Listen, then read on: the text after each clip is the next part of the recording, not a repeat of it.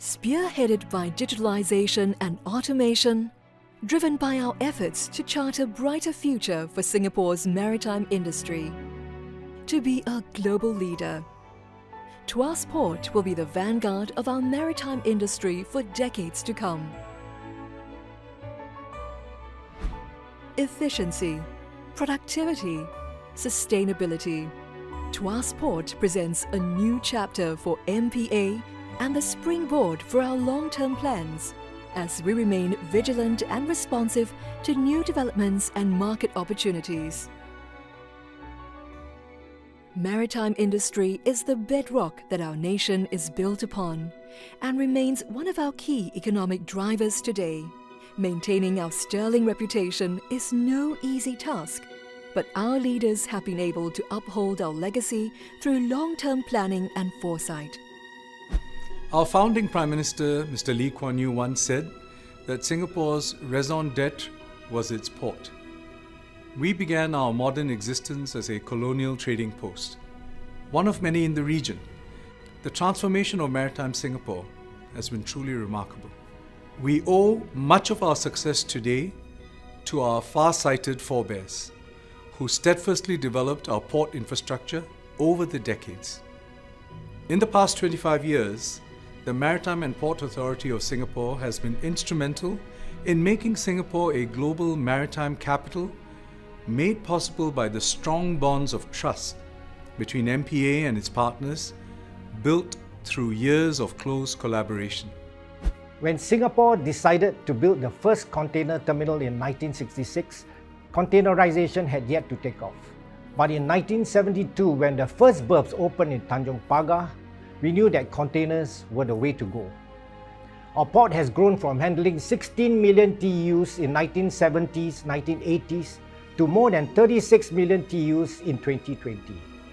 Beyond a physical port, we have also grown to become a vibrant international maritime center.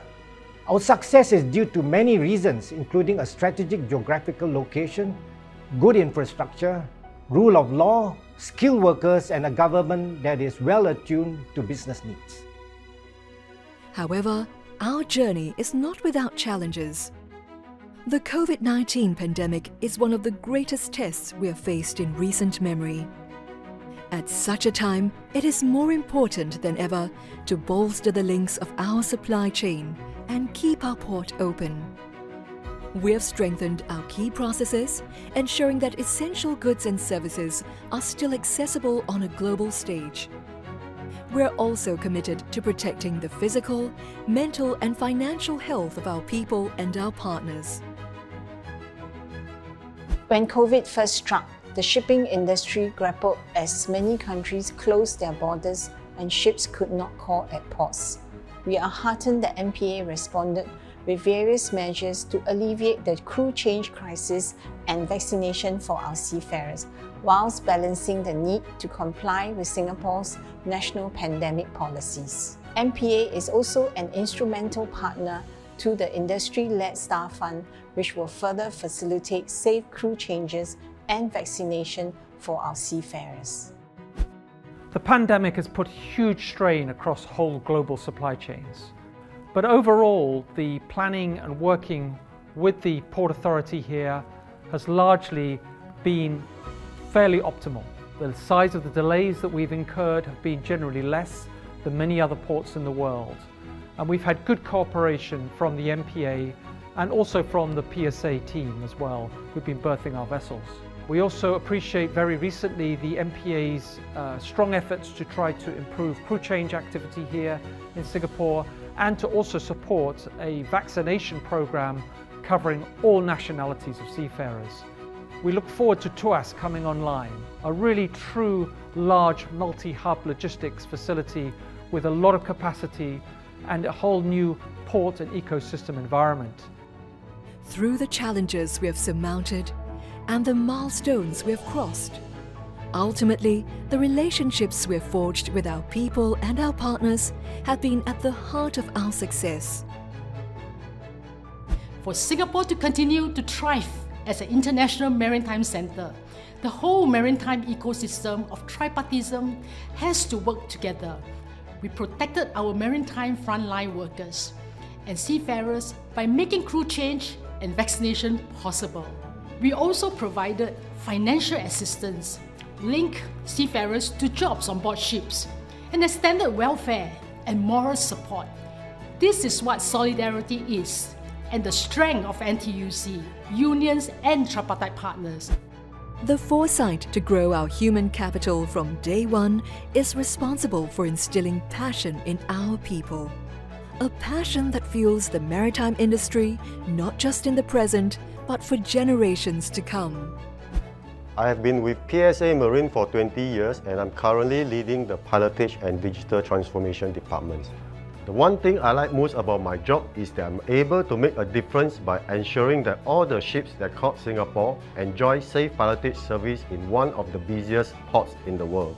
The maritime industry is a good industry to be in. It has undergone and will continue to go through big changes in terms of process, digitization and technology advancement. The milestones we have achieved across the last 25 years since our inception are a testament to our experience working with our partners globally and have solidified our credibility and reputation across borders. Over the years, Maritime Singapore has worked closely with local and international partners and sailed through many rough waters. Recent challenges, such as the COVID-19 pandemic and global supply chain disruption have brought out the resilience and tenacity of Maritime Singapore. With tripartite partners working together, our container throughput volumes have recovered to pre-COVID levels.